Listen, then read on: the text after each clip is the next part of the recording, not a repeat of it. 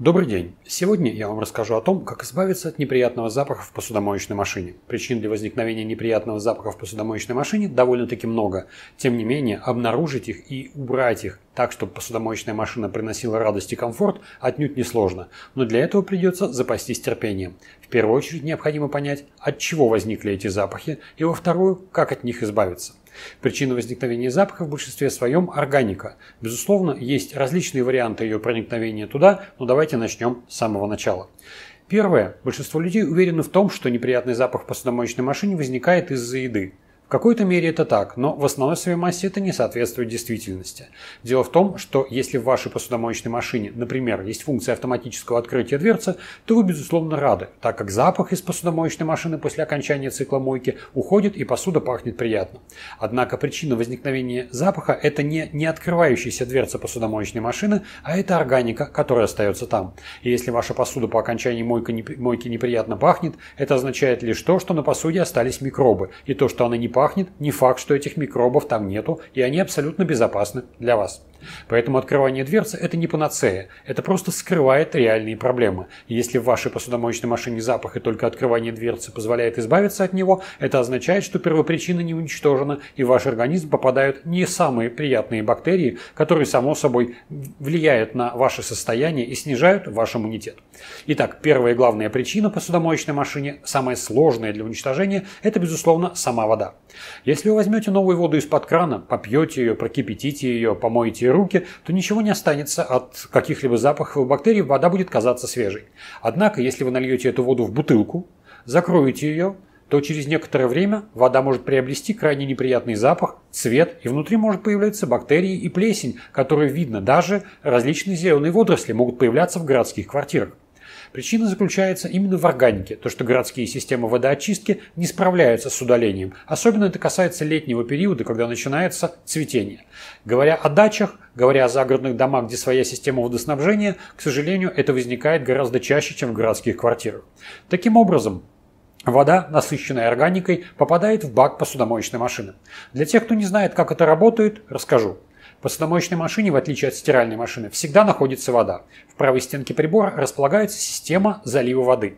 Так называемый бак. Внутрь бака попадает вода из-под крана и находится там постоянно. Поэтому, если вы уезжаете с дачи, если вы, вас нет несколько недель и даже вы не моете посуду несколько дней, вода, находящаяся там, начинает портиться. Она находится в так называемой анаэробной среде, то есть внутри воздуха нету. И как результат начинают размножаться бактерии, в том числе те, которые вызывают бутулизм. Счастью, пока еще случаев, э, чтобы кто-то заболел бутулизмом от посудомоечной машины нет, но ничего полезного от этих бактерий, само собой, тоже нету. Итак, если вы откроете вашу стенку посудомоечной машины, если у вас отдельно стоящая посудомоечная машина, это немножко сложнее. Если у вас встраиваемая машина, все немножко проще. Вы выдвигаете машину вперед, снимаете ее боковую стенку, если смотрите на машину лицом к двери с левой стороны. И обнаруживаете, что система залива воды в вашей посудомоечной машине совсем не такая, как была. Это не практически прозрачный пластиковый бак. Это что-то, нечто покрытое черной, либо зеленой, либо э, какой-то розоватой плесенью, в зависимости от того, что находится в вашей воде. Именно здесь скапливается вся гадость, вся дрянь, которая находится в воде. Вода находится там, вода начинает свисти. Как бы вы ни чистили вашу посудомоечную машину, какие бы вы адские средства не загружали туда, это не поможет вам ни за что и никогда. При загрузке специальных моющих средств для очистки посудомоечной машины в вашей посудомоечной машине чистится только камера, только внутренняя часть промывается сопла, промывается, промываются импеллеры, то, что называется коромыслом. Но у вас вся грязь, она остается внутри этой камеры. И каждый раз, когда туда поступает вода, эта вода уже отравлена этими находящимися там бактериями. Поэтому избавиться от запаха невозможно. Помогает избавиться, как думают люди, только открывание дверцы. Да, запах уходит, но микробы и бактерии на посуде остаются. То есть вы моете посуду грязнейшей водой и, в общем, лучше ее вообще не мыть. Лучше ее салфеточкой протереть. Для того, чтобы очистить бак, существует два основных решения. Это инвазивное и неинвазивное. Инвазивное решение – это разобрать посудомоечную машину, снять бак. Это потребует времени, возможно, потребуется потратить 3-4 часа. Снять этот бак, залить туда отраву. В данном случае можно залить хлорированную воду или те средства, которыми обеззараживаете, например, э, систему канализации, уксуса, либо то же самое средство, которое мы обычно используем для промывания посудомоечной машины. Промыть этот бак, залить его водой, оставить его на несколько часов и слить оттуда все, что там находится. Это позволит избавиться от органики, которая находится внутри этого бака, и восстановить его. Надолго для этой системы хватит? Ну, где-то до следующего цветения воды. Возможно, на 3 месяца, возможно, на полгода. Когда возникнет следующее цветение, следующая грязная вода попадет к вам в посудомоечную машину и снова вызовет появление этой плесени внутри прибора, и у вас снова появятся неприятные запахи, и снова машину придется разбирать. Есть решение гораздо менее инвазивное. Само собой, если у вас есть возможность провести биологическую очистку, озонацию воды перед тем, как она попадает в посудомоечную машину, это было бы идеальным решением, но далеко не в каждой квартире такая возможность есть, да и стоимости этого озонатора обычно превышает стоимость любой посудомоечной машины. Так вот, покупаете в магазине обычный фильтр магистральный. Ставите ее в разрезе между трубой, идущей от водопровода до вашей посудомоечной машины, и вода проникает вся в посудомойку через этот фильтр. Когда у вас появляется в посудомоечной машине неприятные запахи, вы прикрываете воду.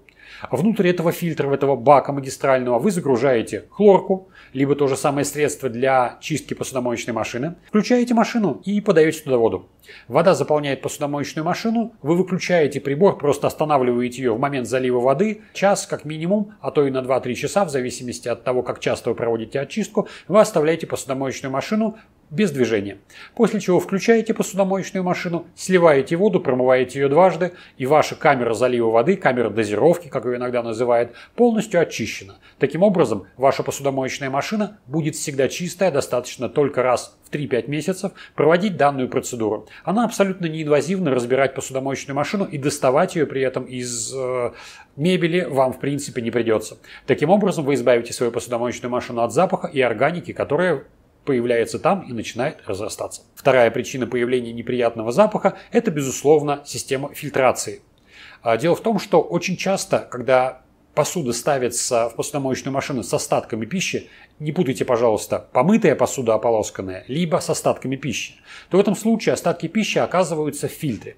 Если вы не будете чистить фильтр, а фильтр рекомендуется чистить постоянно, то есть каждый раз, если вы ставите туда посуду, после окончания цикла вы вытащили посуду, вытащили, посмотрели фильтр, поставили его назад. Это занимает буквально 15 секунд, гораздо меньше, чем перемыть всю посуду руками.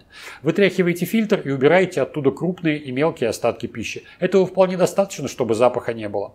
Если же этот запах у вас там появляется, значит у вас есть микробы. Вся вода, которая циркулирует, в том числе на финальных этапах ополаскивания, постоянно проходит сквозь пищу, которая начала гнить еще неделю, две или три назад, в зависимости от того, как часто вы очищаете вашу посудомоечную машину. И опять же, микробы и бактерии будут оставаться на вашей посуде. Ничего полезного для вашего организма в этом нет. Поэтому обязательно после того, как посудомоечная машина помыла вашу посуду, вытаскивайте фильтр и промываете его. Повторюсь, это занимает буквально несколько секунд. Если это делать не раз в полгода, это займет буквально секунд 15. И дальше ваша посудомоечная машина будет дарить вам свежую, чистую посуду без неприятных запахов запах. Третья причина возникновения неприятных запахов – это неправильное подключение слива. В большинстве случаев слив подключается как попало. Его подключают в тот же самый сифон, который находится рядом, а рядом с кухонной мойкой.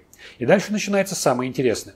В сифоне, в отличие от ванны, где довольно редко происходит подобное, в сифоне под мойкой на кухне очень часто накапливаются остатки пищи. Вы что-то помыли, что-то почистили, что-то порезали, оно попало туда. И вместо того, чтобы быстро сливаться в канализацию, грязная вода и остатки пищи совершенно спокойно забивают и оставляют, остаются в сифоне. Поэтому, когда ваша посудомоечная машина пытается сливать воду, то в этом случае у нее возникает значительное сопротивление, то есть что-то мешает этой воде сливаться. И в этот же момент, например, если у вас открыт кран, то грязная вода и грязные запахи по той же самой трубе, если у вас нет гидрозатвора, либо он срывается, этот гидрозатвор, из-за забивания его мусором, у вас назад идут все запахи. Весь мусор, который находится в вашем сифоне, совершенно спокойно гниет, и эти запахи отправляют в посудомоечную машину. Чистить и мыть посудомоечную машину в этом случае абсолютно бесполезно, потому что запахи туда проникают каждый раз, когда посудомоечная машина включает функцию слива. То есть на самом финальном ополаскивании у вас остается вонючая грязная посуда. Микробы передаются не только кусочками, микробы передаются и запахами, поэтому если вы что-то чувствуете, значит эти микробы находятся и в воздухе в том числе, и соответственно тоже попадают на вашу посуду. Поэтому если первый и второй вариант можно исключить, то третий можно совершенно спокойно проверить. Во-первых, создайте хороший гидрозатвор. Поднимите сливной шланг до максимальной высоты, насколько это можно, до высоты посудомоечной машины, чтобы вода из посудомоечной машины сначала поднималась фактически до столешницы, а потом уже сливалась вниз к сифону. Это обеспечит вам значительную безопасность. И пока из вашей раковины вода, извините, вверх не попрет, она не заполнится до отказа и не начнет топить вашу квартиру, внутрь вашей посудомоечной машины грязная вода поступать не будет. Это обеспечит вам абсолютную безопасность от запахов, идущих из канализационной системы. Таким образом, три источника запаха мы уже с вами устранили, но есть еще один, самый сложный и практически нерешаемый, и о нем мы сейчас с вами поговорим отдельно. Дело в том, что в посудомоечной машине есть еще система ионообмена. Обычно ионообменник располагается в левой части дна посудомоечной машины и закрывается крышкой доступ к емкости для соли, через которую, собственно, проходит вода в ионообменник для восстановления. Если крышка закрыта плохо, хотя бы один раз и туда попала, а многие вообще забывают ее закрывать. Я очень часто сталкиваюсь с тем, что с вопросом, а вот мы забыли закрыть крышку в посудомойке на дне, что теперь будет? А, не знаю, что теперь будет, каждый раз будет по-разному, но для себя должно быть понимание. Если внутрь попадают остатки пищи, даже самые маленькие кусочки, не куриная кость, да, просто там кусочек хлеба какой-то, рисинка, то находясь вот в этой среде, замкнутой, в абсолютно чистой воде, где работает кальций, магний, который по сути является, ну не знаю, не витаминным комплексом, да, а рассадником для бактерий, в этом месте начинают расти бактерии. И если у вас бактерии распространяются в волнообменнике, а именно после емкости для соли вода попадает в волнообменную смолу, в левотит, то там возникает просто-напросто цветение, плесневение и гниение. И избавиться от этого уже практически невозможно. Поэтому если у вас запах появился именно там, в волнообменнике, то в этом случае посудомоечная машина требует значительного ремонта. Вам придется вскрыть посудомоечную машину, лучше всего вызвать мастера, но тем не менее разобрать прибор, вытащить ее оттуда ионный заменить его. Есть умельцы, которые могут заменить только ионно смолу, кто-то меняет целиком, и после этого уже в следующий раз думать чтобы этого больше не произошло. Не допускать того, чтобы крышка была открыта. Но есть и решение малой кровью. Совсем не обязательно ремонтировать прибор. Достаточно просто отказаться от использования соли. Если у вас не очень жесткая вода, то ставьте жесткость на минимальное значение. Если у вас есть 0, то лучше всего на 0. И запускайте прибор вместе с таблетками. Таблетки не попадают в ионообменник, таблетки не попадают в емкость для соли. Задача состава таблеток заключается в том, чтобы не допустить выпадания в осадок ионы кальция и магния. Таблетки 3 в одном или все в одном, они не влияют на жесткость воды, они не снижают жесткость воды, они блокируют ионы кальция и магния от выпадания их в осадок. И как результат, если у вас используется таблетки, ионообменник не задействован, это означает, что даже если он у вас цветет, Просто-напросто забудьте о нем и используйте посудомоечную машину в обход ионно-обменной системы. Понятное дело, что для кого-то это будет неудобно, но это гораздо лучше и дешевле, чем, например, ремонт и замена ионно-обменника. Итак, мы с вами рассмотрели все существующие причины возникновения запахов посудомоечной машины. Не забывайте ее промывать. Обычные агрессивные моющие средства для промывки посудомоечной машины никто не отменял. Раз, два, три месяца запускаете ее на систему жесткой очистки. Если у вас нет специальных средств, просто на пустую, без ничего, только с химическим средством включаете ее на максимальную температуру, на максимально длинный цикл, без использования и без загрузки туда посуды. Ну и само собой следите, если, ваши, если в вашей посудомоечной машине появились запахи, для этого есть причины. И эти причины нужно уничтожить. Если вы не будете от них избавляться и будете терпеть запахи, само собой это будет значительным образом влиять на ваше здоровье и снижать ваш иммунитет.